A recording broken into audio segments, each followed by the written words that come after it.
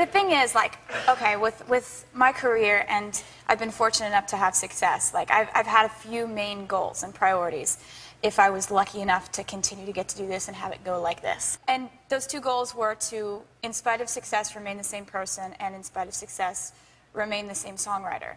Uh, when I was 12 years old and I started writing songs, I was writing songs about my life. And just because more people are now kind of more interested in the subject material of those songs rather a little more than when I was 12. Right. Now, uh, I'm still going to continue to write about my life, and I guess people are going to continue to speculate about it, and I'm going to continue to never tell them who the song's about. Right. Fala com a gente, que eu sou a Nath. E eu sou a Isa. O que, que a gente vai fazer aqui hoje? Hoje a gente veio contar um pouquinho pra vocês sobre o que, que o Midnights quis dizer pra gente.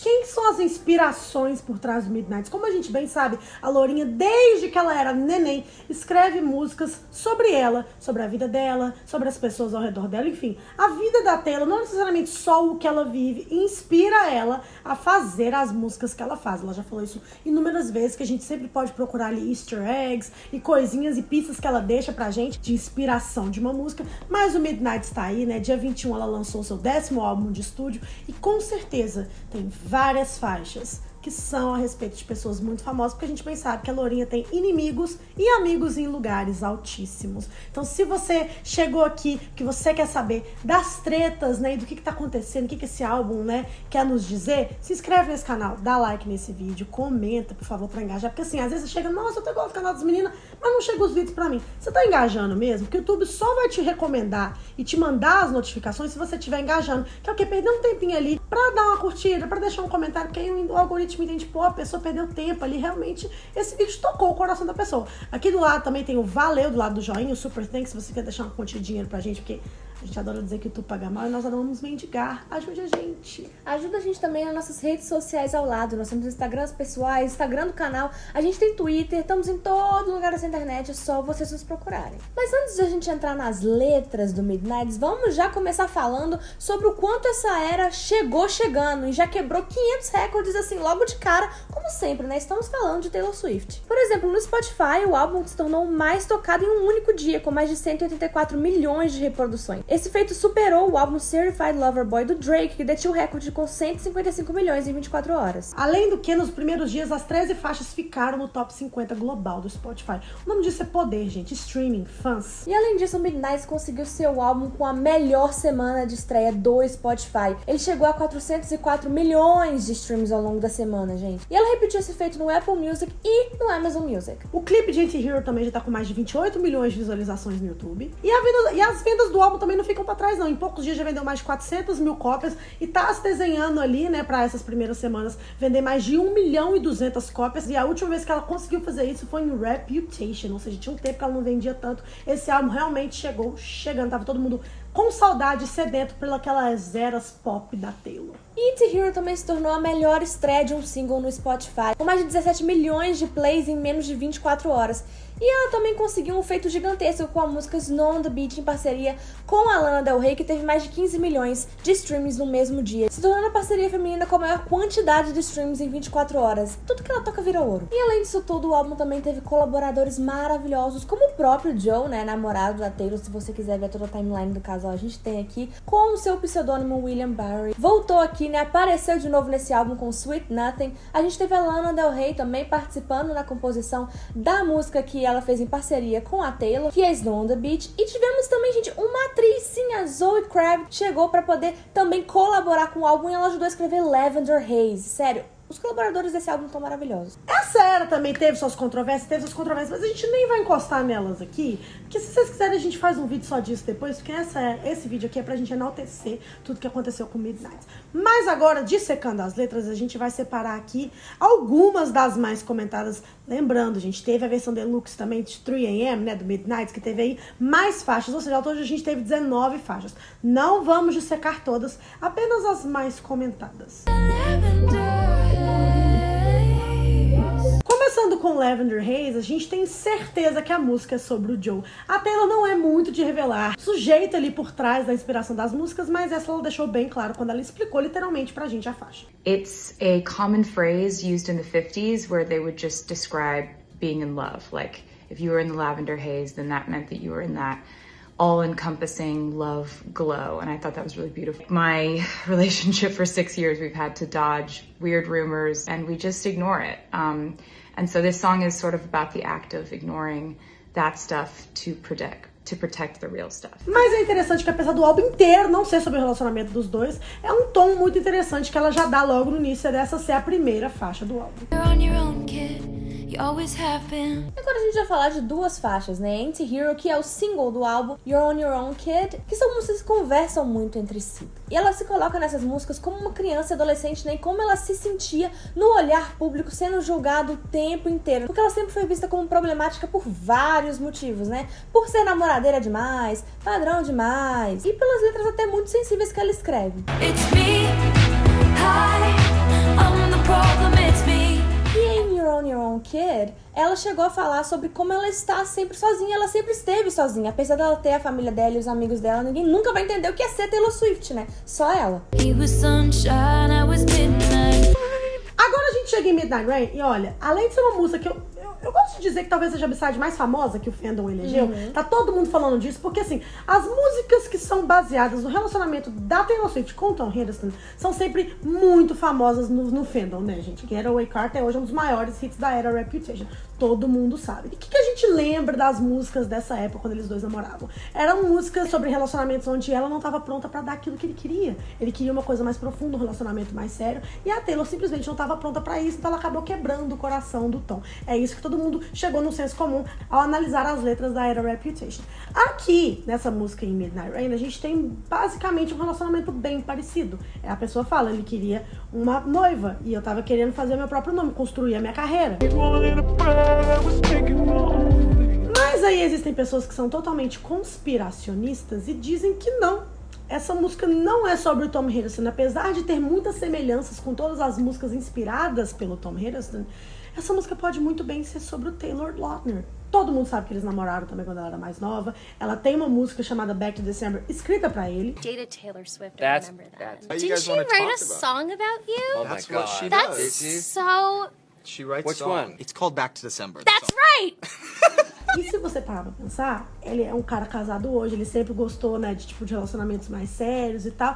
E se na época, mesmo sendo novinhos, eles queriam, né, tipo, dar uma chance àquilo, ele queria uma coisa mais séria, não talvez casar naquele momento, mas enfim, algo mais sério. E ela tava construindo o nome dela e ela não queria ser só mais uma outra Taylor Lautner, caso elas, algo mais oficial acontecesse entre os dois, porque naquela época a Taylor não era consolidada como ela era na época de Reputation. Então, se você tá querendo ainda construir o seu nome, making your name, não faz mais sentido na época que você era menos famoso? Enfim, comenta aqui, que você acha que é sobre o Taylor Lautner ou sobre o Tom Hiddleston? Eu gostaria de saber. Draw the cat eyes sharp enough to kill a man. Agora vamos falar sobre Vigilante Shit. E muitas pessoas têm a conspiração, têm a ideia de que seja sobre a ex do Scooter Brown. Se você estava na internet nos últimos anos, você acompanhou essa treta de perto. A treta Scooter Brown versus Taylor Swift. A gente cobriu essa treta toda aqui no canal, mas para quem não sabe, o Scooter basicamente traiu a Taylor, comprou todo o trabalho da vida dela sem ela ter a chance de conseguir aquele trabalho para si. Ele basicamente roubou todo o trabalho dela. E essa música é ótima, gente. Ela descreve um relacionamento abusivo e sobre como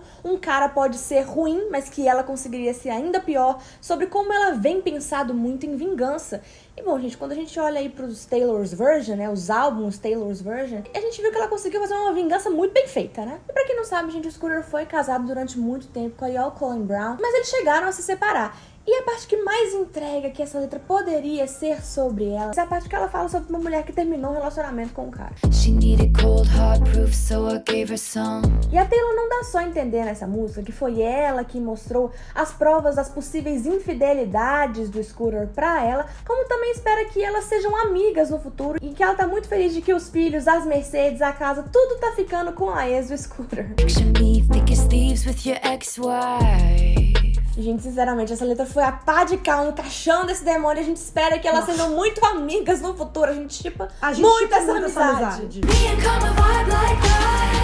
Acho que essa é bem clara, a gente está falando aí de Kimmy, não tem muita explicação. Quem se lembra aí, né, de toda a treta histórica, já cobrimos aqui no canal, de Taylor Swift, Kanye West, Kim Kardashian, que originou, né, realmente uma das maiores eras da Taylor, que foi Reputation, um dos maiores problemas na mídia da Taylor, né, uma das maiores tretas. Eu diria que 2010 é a maior treta musical que a gente já teve.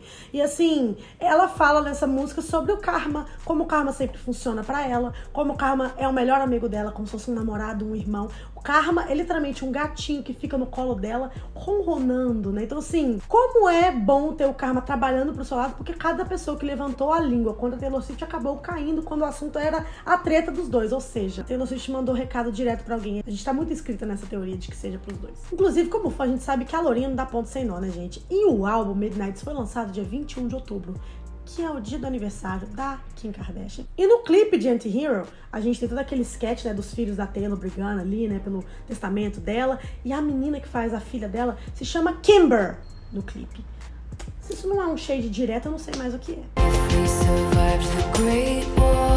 E a versão deluxe do álbum, chamada 3AM, abre com The Great War, que é uma música que fala sobre duas pessoas em um relacionamento que parece que eles estão numa guerra, que eles estão travando uma guerra juntos e que parece que não vai acabar nada bem, mas no final de tudo eles têm que estender uma bandeira branca para poder continuar juntos no final de tudo. E muitos especulam que isso poderia ser um momento difícil, uma fase difícil que o relacionamento dela com o Joe, um relacionamento de seis anos, estava passando e que eles realmente tentaram de tudo para fazer dar certo no final e deu certo, eles estão juntos até hoje, né?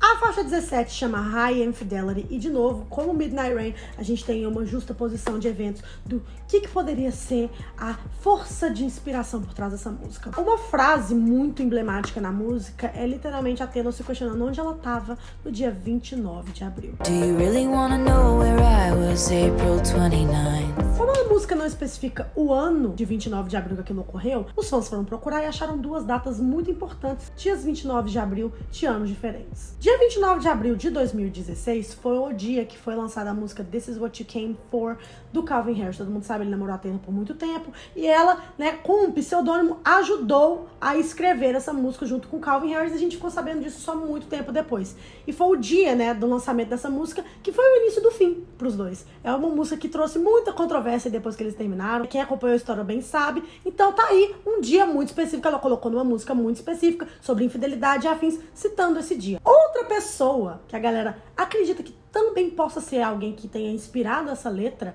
tão emblemática que tá todo mundo falando sobre, é a Diana Agron, a atriz que fez a Queen Fabre em Glee. Então, ela e a Taylor costumavam ser muito amigas, elas eram vistas juntas o tempo todo, quando a Taylor era mais novinha, e muita gente acredita, né, naquela teoria da conspiração de Taylor bissexual, onde várias dessas letras emblemáticas de amor que a Taylor escreveu foram pra Diana. Muita gente inscrita nessa teoria que as duas tiveram um caso e tudo mais. E bom, né? Cavucando aí fotos antigas. Dia 29 de abril de 2012 foi a festa de aniversário, fantasia da Diana Agron, onde a Taylor Swift também estava. Gente, aí fica aí a indagação. Essa música é sobre quem? High Infidelity é sobre quem? Comenta aqui. A faixa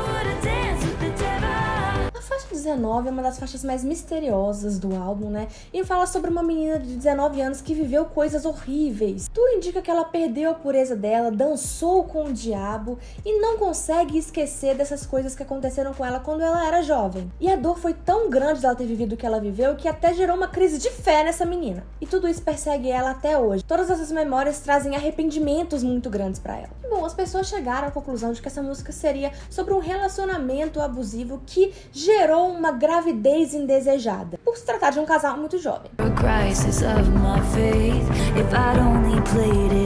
E a teoria se aprofunda mais ainda, porque a galera acha que essa música possa ter a ver também com um aborto. E quando a gente começa a linkar essa música com uma outra música do álbum também, que é Bigger Than the Whole Sky, a gente começa a ver mais sentido nisso. Porque Bigger Than the Whole Sky é uma música que claramente fala sobre uma mãe que perdeu o seu filho, né? Que teve um aborto espontâneo ou não, mas enfim, perdeu o seu filho antes mesmo dele nascer e da dor que essa mãe carrega até hoje por isso, principalmente por não saber o que poderia ter sido. E nessa parte da música, ela usa exatamente o mesmo título da música para descrever essa sensação: would have, could have, should have. Could have been, been, we been que fica, né? De quem é essa história? Quem que era essa menina de 19 anos? Porque nessa época a Taylor tava na fase mais namoradeira, tendo mais namoros curtos. Então talvez não tenha tido muito um namoro ali que deu tempo de ter uma gravidez. Mas será que é uma conhecida? Será que é uma história que ela realmente criou e imaginou essa menina? O que, que você acha? Comenta aqui pra gente.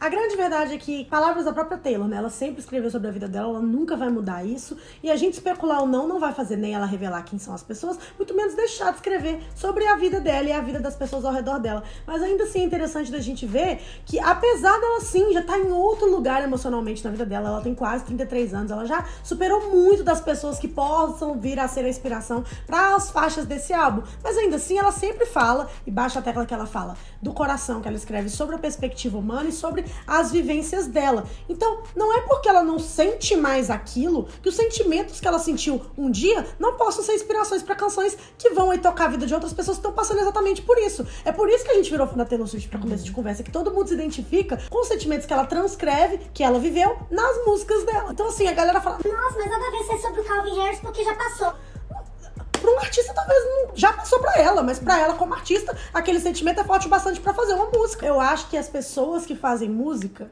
mesmo que elas já estejam em outro lugar emocionalmente, aquilo não deixa de ser uma possível inspiração. As músicas são boas, as histórias são legais, as histórias não morreram, os sentimentos não morreram, entendeu? E a Taylor continua escrevendo sobre essas experiências, porque até agora tem dado super certo. As músicas têm continuado com a qualidade de sempre. Então é isso, gente. Se inscreva nesse canal, dá like nesse vídeo, comenta aqui sobre quem você acha que essas faixas realmente falam a respeito. Mas que a gente nas redes sociais, o tour de sempre. E é isso. Um beijo. Tchau.